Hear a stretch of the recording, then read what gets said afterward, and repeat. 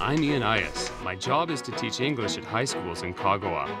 My hobby is making videos combined with my interest in traveling.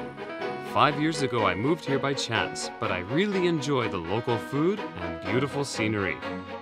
I want more people here to explore local places such as the islands in Setouchi. 会いに来てください。